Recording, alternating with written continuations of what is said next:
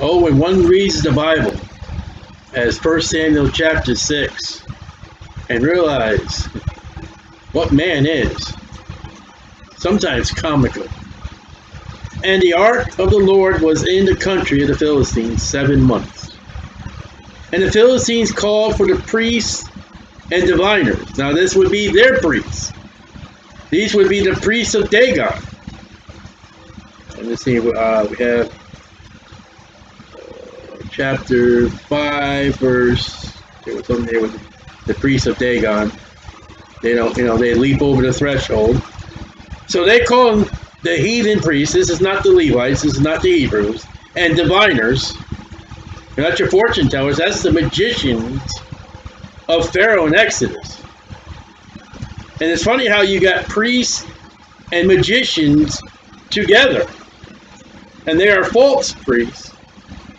And magicians are false. And yet you see today magicians in connection with Christianity. It, it doesn't go together. Saying, What shall we do to the ark of the Lord? Capital L, capital O, capital R, capital D. The Holy Spirit records that they are saying that that ark is Jehovah. Now we know the ark isn't, but we're talking about a bunch of people as a statue who now has no head and no palms. Tell us wherewith we should send it to his place. We want to get rid of it. His place would be Israel. And they said, If you send away the ark of God of Israel, Send it not empty. But in any wise return him a trespass offering. We've trespassed against the God of the Israelites. We've trespassed against the God of this ark. We got to make an offering. So we have to please God. Then he shall be healed. And we talk about God gave him death, and hemorrhoids. And it shall be known to you why his hand is not removed from you. So, death and hemorrhoids are present as we're reading this. The plague is still active and still going. We want to get rid of this God. We want to get rid of this torture that's torturing us right now. Then they said, What shall the trespass offering which we shall return to him, God.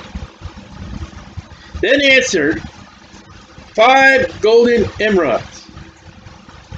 And I'll talk about that as we go along, but chapter 11, I'll really point it out as humorous. But five golden hemorrhoids. And five golden mice.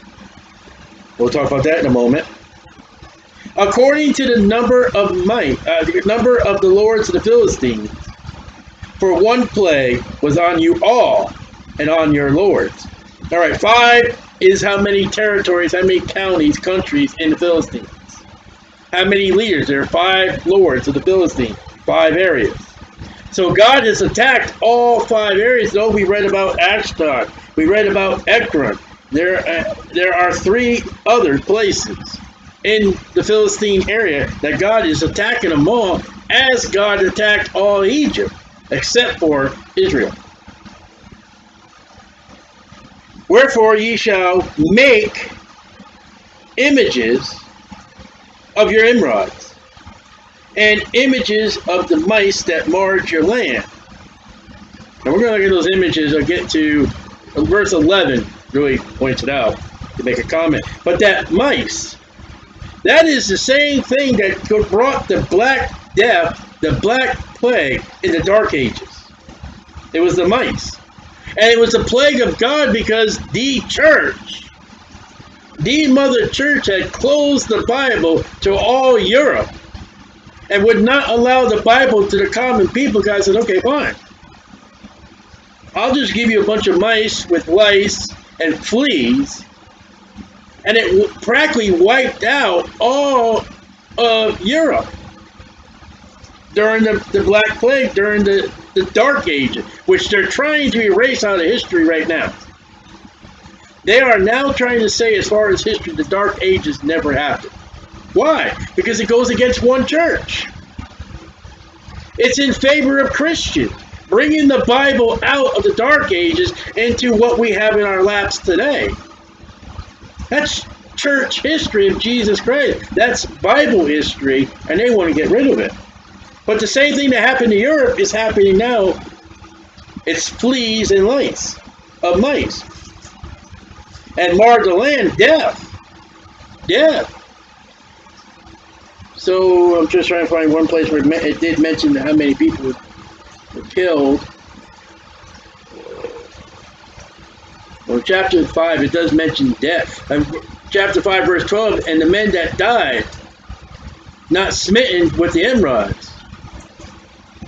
So there are people who died of emerods, the, the, the, the hemorrhoid, and there are people who died of this black plague by the mice. So they say mice are the trouble, so make five golden mice. Emerods are the trouble, make five golden emerods. You say, well, God doesn't appreciate that. That's not under the law. The Philistines are not under the law. They're trying to please God. They're not Jewish. They're not under the law. They don't know any better. So they're doing the best they can. He shall give glory unto the God, capital G of Israel. Peradventure, he will lighten his hand from off you. They are acknowledging that this is the God that's doing this to us. This is not the, the missing head Dagon, who's not happy right now because he can't pick up anything. He has no more hands. It's not Dagon doing this to us. It's the God of that ark. It's the God of the Hebrews. And we've got to make him happy. We got to appease him so we can get rid of this disease and death. That's what they're doing. He will lighten his hand from off you and from off your gods. Oh, see, they kept the gods. That's the priest, verse 2. That's the diviners, verse 2. We sure can't get rid of the gods because then we would lose our job. And from off your land. Wherefore, then do ye harden your hearts, as the Egyptians and Pharaoh hardened their heart, when he had when he God had wrought wonderfully among them did they not let the people go and they departed? God's judgment. you say, well, what does God's judgment have to do? What does capital punishment have to do? The Philistines say, you know what God did to the Egyptians? We don't want it to happen here. And you know what happened to the Egyptians? They they refused God. They they disobeyed God. They rebelled against God. And it got harder and it got harder and it got harder and it got worse. And it was against this God. It was against that God. It was against those gods. And they said they finally let the Israelites go. We're not going to go through that. We are not going to do the Egyptian history. We're just going to bring this thing back to God. We're going to offer him a trespass offering, and hopefully he'll show us mercy and grace. We are not going to fight against this God of that art. So God has a testimony, even in the heathen lands, don't mess with me. So, look at that history there. Now, removing history today, you're not going to get these stories. You're not going to get the repentance. You're not going to get Jesus Christ who was born in a manger. Why was he born in a manger? Because they're erasing all those. They are erasing, the carols. There'll be a time and the age of the Lord tarries that no one will know anything about Jesus Christ. Just wickedness and sin. Now therefore make a new cart Let's not go buy a car. Let's not get. Let's give this God a new car. Brand new. And take two milk kine, that's, that's female kinds, who have young and are nursing their young, on which there have come no yoke. They never plowed the fields. The only thing they've done, they give birth and they're nursing their birth. They've never done any physical labor. And tie the kine to the cart and bring their calves, that's their babies, home from them. That's the first time that cart shows up And that's the first time calves show up. He said, Well, what about Aaron? That was a calf. Now, isn't it amazing how calf again shows up with idolatry? You're talking about a bunch of idolaters, Dagon, the fish god, and Gods, and here's calves again mentioned. So, if you rather eat chicken and have an ambassador representation of your organization as a cow, uh, you're Christian ethics. I say you haven't read your Bible. Because the same thing that is your idol, your image, your icon is the same thing that Aaron did, and God was not happy with it. Moses was not happy with it. So, all right, so what they're going to do, here's these mother cows. I think that's the simplest way I can put it. They're mother cows, they are nursing their young. They care about their young. And what they're going to do is they're going to take those, cow, those cows, they're going to tie them to the cart, they're going to take their babies, and they're going to put them in a barn uh, somewhere. Now, the intuition of those cows is to go find their babies and take care of their babies. Where are their children? And I'm just trying to break it down simple. So, they're going to uh, bring the calves home from them. They're going to separate them and take the ark of the Lord and lay it upon the cart and put the jewels of gold. That's interesting. Jewels. Those jewels are the image of the hemorrhoids, the emerald, and those jewels are the image of the mice. They've taken those golden emeralds, those golden mice, and they are jewels of gold, which he returned him for a trespass offering in a coffer, that's the first time that word shows up, by the sides thereof. And that's that's important, the sides. Not on it, not in it. Lay it right beside. And it's kind of interesting because when you look at the close of Deuteronomy, Moses took the book of the law and it said they put it on the side of the ark. It's interest, And send it away that it may go. And see, be a witness. If it goes up by the way of his own coast to Beth Shemesh. Now, Beth Shemesh is an interesting word because it means the house of Shem. Beth, house, Shem. Do we know a Shem in the Bible? Noah's son. That is the line of Jesus Christ. So then what they're saying is, okay, take the calves away, bring them home. Put the kine, the cows, on that ark, tie them. And we're going to see if God directs those cows where they go. Do they go back home to find their calves? What are they going to do? Are they going to go to Beth Shemesh? Then he that done us this great evil, the emeralds and death and the mice.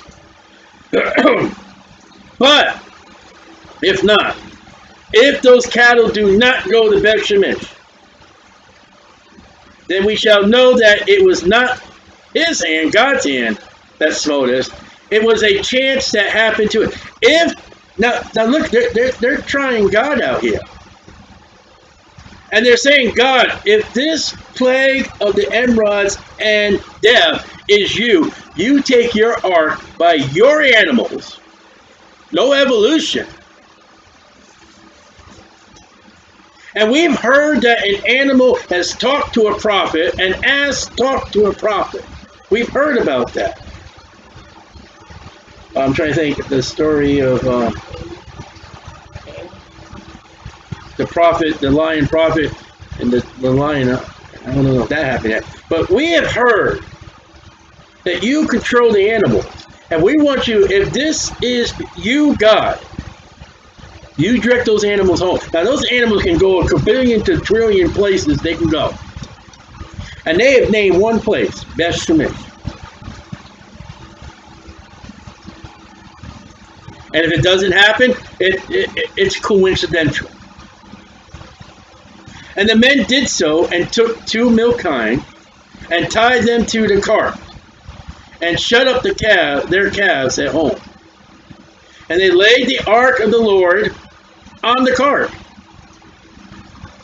and the coffer with the mice of gold and the images of their emerods. Now here, this is funny. Read what it says. The images. An image is a picture. And you, if you were to bring up to modern day today, you would think about somebody who's going in for a colonoscopy, goes to work and say, you see the pictures in my... Somebody laid out in gold and engraved, encrafted into those jewels what the hemorrhoids look like, and that's what they did, five of them. Read the city. So when you pick up those golds, well, what is that? Ew. Well, that one's a mouse, a mice. They had big ears. Mice have no good condensation in the Bible, no matter if you're in Florida or California. They're an unclean animal. They had just caused destruction in the Philistines. And later on in in the future history, is to us is history that caused great destruction in Europe. And Christians spend millions of dollars to go worship a big fat rat. It's too big. It's almost like verse 11 it would be almost like an x-ray. Here's a picture of our hemorrhoids. Now, isn't that gross? And the kine took the straight way to the way of Bethshemesh. Now, I don't know if it traveled the, the, the, the road that leads to it, or did just bypass the road and went straight, you know, through the fields, off the beaten path. But they went to Beth Shemesh. So God guided those cows. He says the Philistines are looking for answers. And I don't know if he whispers into the ears of these guys, whatever he does. He says, You guys, you see that place over there? You go right over there. That's the answer to the Philistines. Which does show God will give answers to people that are seeking Him, even though they are outside the will of God.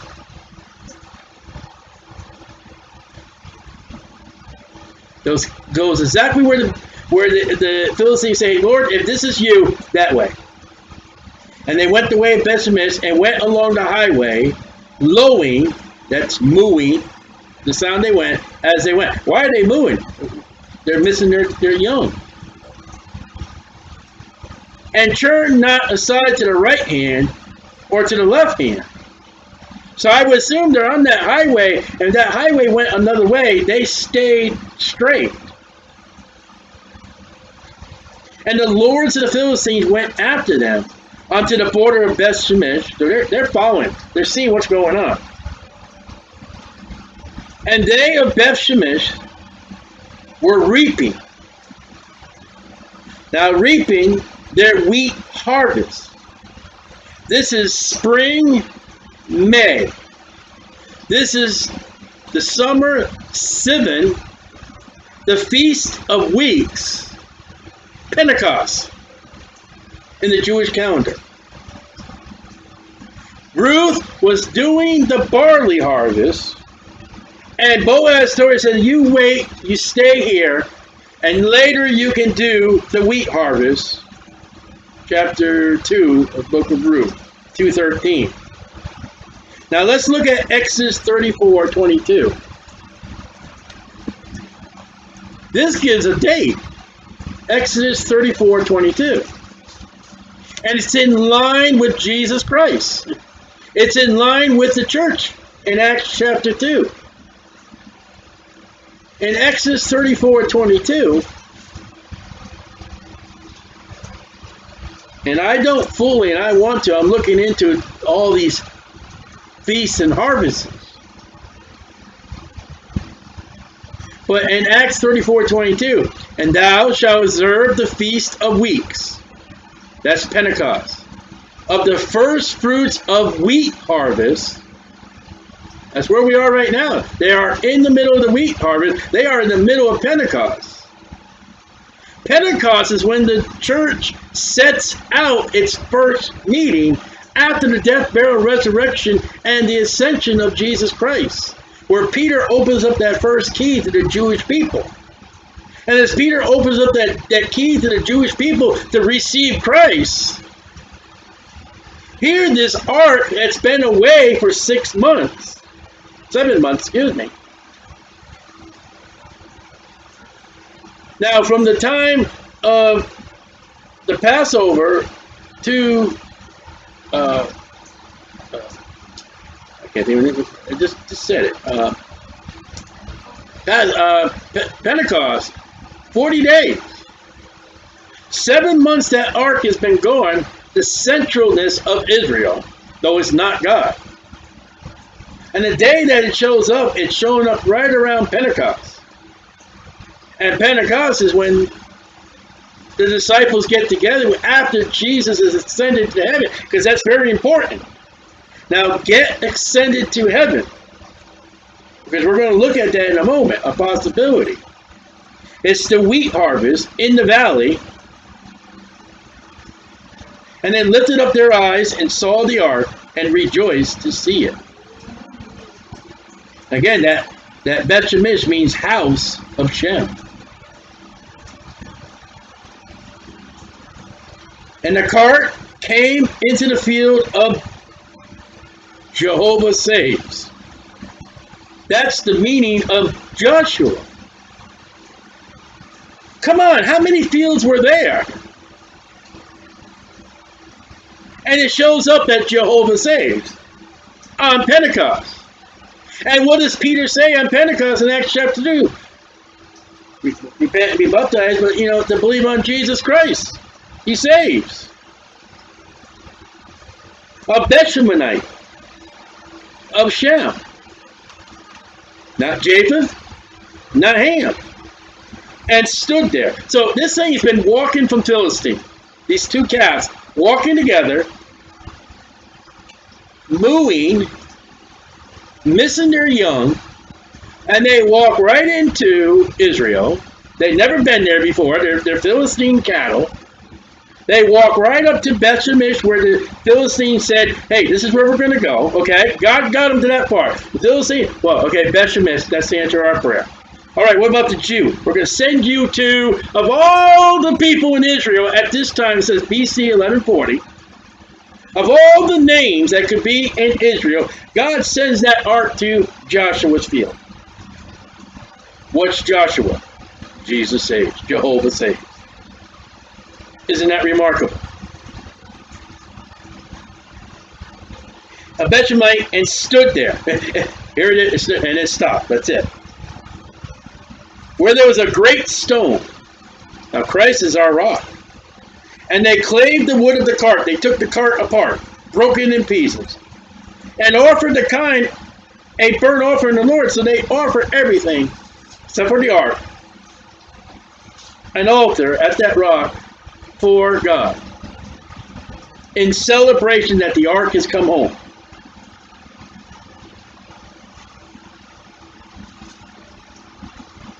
And the Levites, here comes the real priest, here they come, took down the ark of the Lord.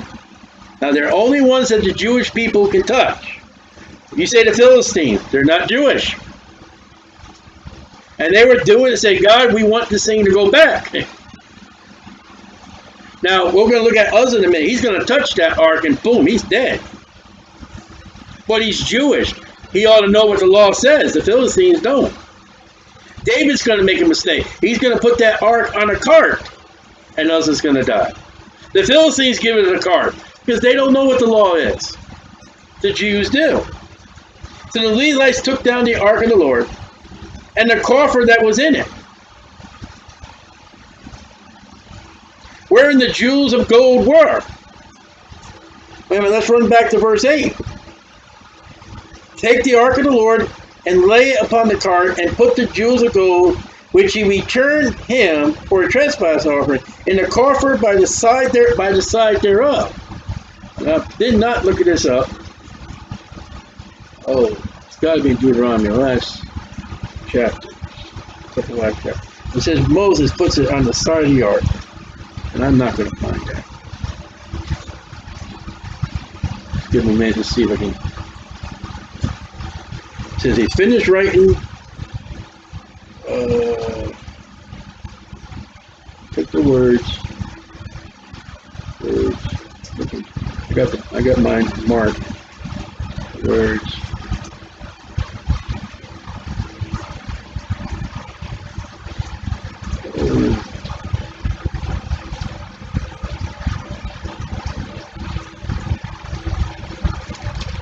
Let me see.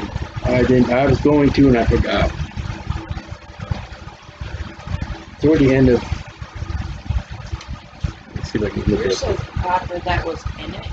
on the side thereof, but um, let me look up here real quick. I apologize. Look. Um, Deuteronomy 31, 26. 3126. Yes, that's what it says. 3126. Deuteronomy 3126.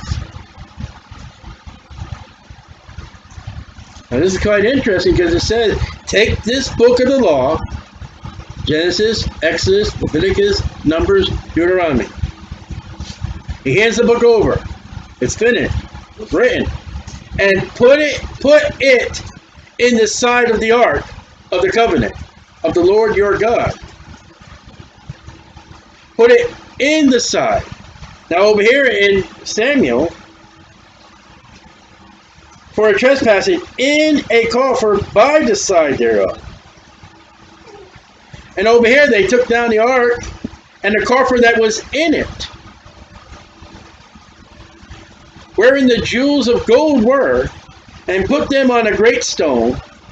And the men of Bethshemesh offered burnt offerings and sacrifices the same day unto the Lord. We're going to get in verse 19 more about this, but there's something about this ark now. According to what Moses did with the law, according to what goes on here, it looks like that, that coffer is put in the ark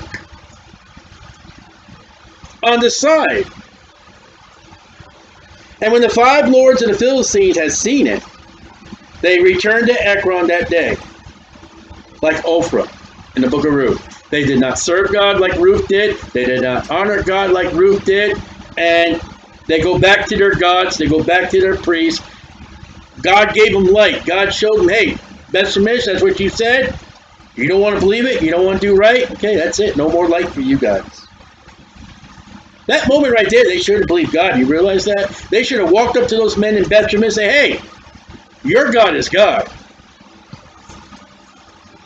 What do I do to get right with him? But they don't. They go away like Ophrah. And these are the golden emerods, which the Philistines returned for a trespass offering unto the Lord. All right, here we go. For Ashdod one, for Gaza one, for Ashkelon one, for Gath one, for Ekron one. That's the territories of the Philistines, the five of them. The golden mice, according to the number of all the cities of the Philistines, which were just mentioned, belonging to the five lords, there's, there's a lord for each city, both of fenced cities and of country villages, even unto the great stone of Abel, whereon they set down the ark of the Lord. Wait a minute. Wait a minute. Let's hold on here. It says that that came to oh it? Stone. Ah. Verse number 14. And the cart came to the field of Joshua, Bethshemesh, and stood there where there was a great stone. Verse 18. Even unto the great stone of Abel. That's interesting. Wherein they set down the ark of the Lord, which atone, I mean, which, which stone remaineth unto this day in the field of Joshua, of the Beth Shemesh. Abel. You know about Abel? You know who he was? The shepherd that brought his flock, brought his blood, brought it in the place called Joshua, the house of Shem. What was, uh, according to the Bible, what was the written down name of the third son of Adam? Isn't that interesting? And he smote the, be- the men of Bethshemesh because they had looked into the ark of God, not on into the ark of the Lord. There's a problem. What was on that ark that covered that ark? The mercy seat, the cherubim in the sea. If you can look into that ark, and if the Philistines can put a coffer with golden mice and golden emerods in that ark, and Ichabod, the glory has departed, the, the ark of God is there, but the mercy seat is gone. God removed the mercy seat. You think it's possible? 2 Samuel 6 6. Two places. 2 Samuel 6 6. Now God smote them for looking in. 2 Samuel 6 6. It is recorded, this is Uzzah.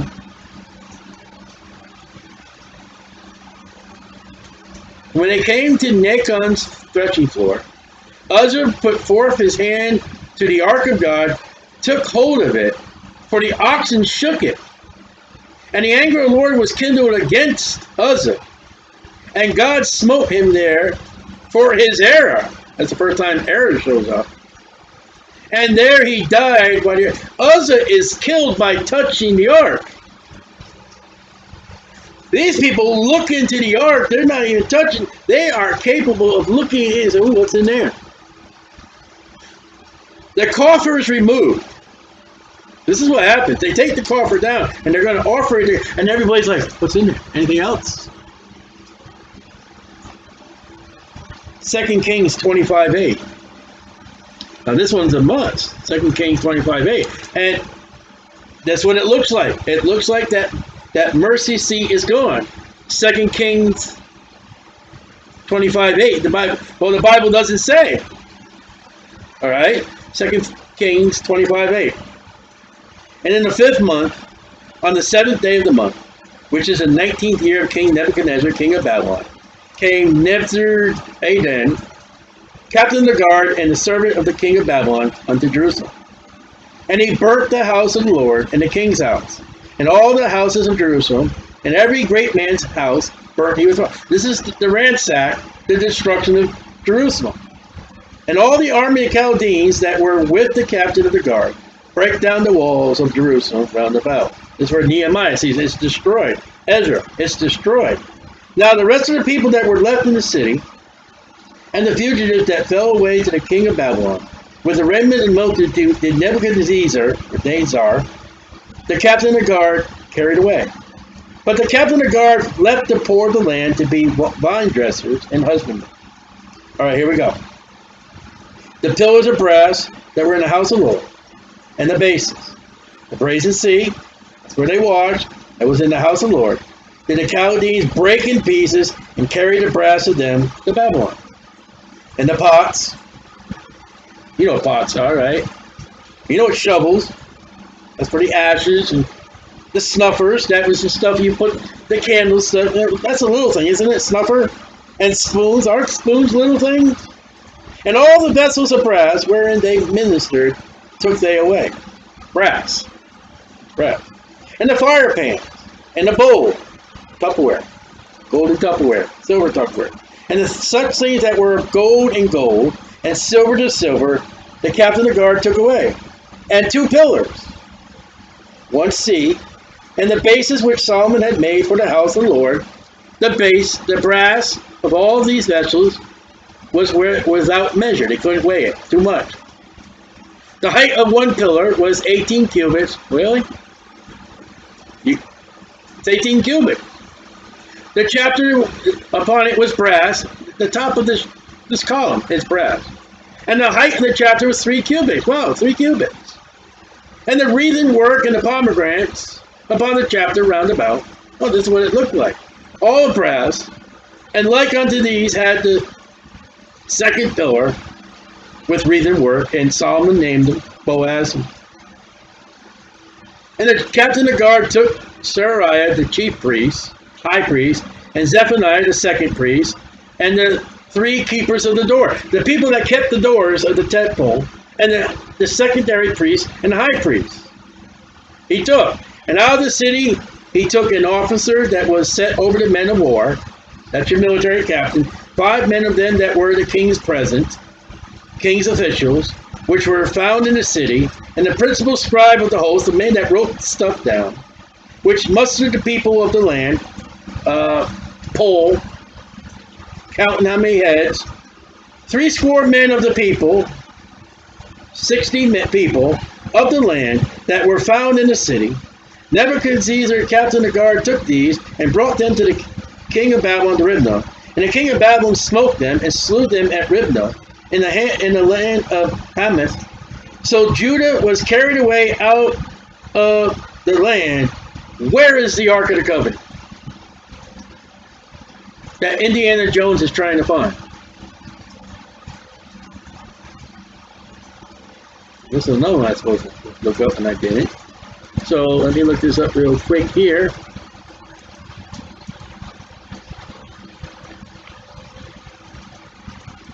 We come over to, let's go to Revelation 11, 19. Revelation 11, 19. The chorus verse great. 11, 19.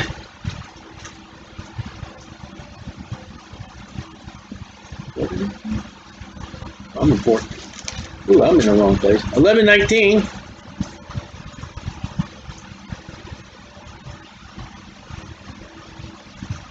And the temple of God was open in heaven. This is in heaven. And there was seen in his temple the ark of his testimony. Now, when we read in Kings, Second Kings, when we read all the things, the chapters that were taken, and what was missing in Second Kings 25 was the ark of God. God raptured or took home the ark of God that the Nazis did not take. God took it. And I am saying it looks like in 1 Samuel chapter 6, the glory has departed. It looks like that God took the mercy seat and left the ark, that these men could go, what's in there? You're dead. They could not remove the mercy seat because Uzzah just touched it because the ark shook in good intentions that God said it was an error. He had good intentions, but no one's touched that ark. He just touched it. There's no way these people could remove that ark. Even the Levites, they were not, they were to carry the ark like they did. They weren't supposed to remove that mercy seat. How are they able to take that coffer out of that ark? The mercy seat's gone. It has to be. And then when Jerusalem is sacked and Jerusalem is destroyed, the Ark of the Covenant is taken up to heaven. So when you got Ezra and Nehemiah rebuilding Jerusalem and the temple's built, there is no Ark. It's in heaven. According to the scriptures. After 2 Kings chapter 25, you don't read anything of that ark anymore until you get to Revelation. I want to write that down here. You don't read about that art as being anywhere but in heaven.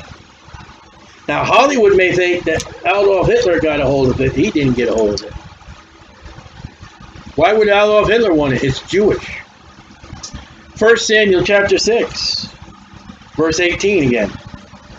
And the golden mice, according to the number of all the cities of Philistines, belonging to the five lords, both the fenced cities and the country villages, even unto the great stone of Abel, that's an interesting name, Joshua, Abel, wherein they set down the ark of the Lord, which stone remains unto this day in the field of Joshua, Beth Shemesh. At the writing of 1 Samuel, it's still there.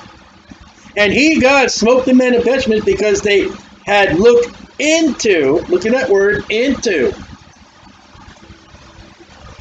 the ark of the Lord, even he smote of the people 50,000, three score and ten men. That's a lot of people. Why are there so many people there? It's harvest. It's a harvest time. And the people lamented.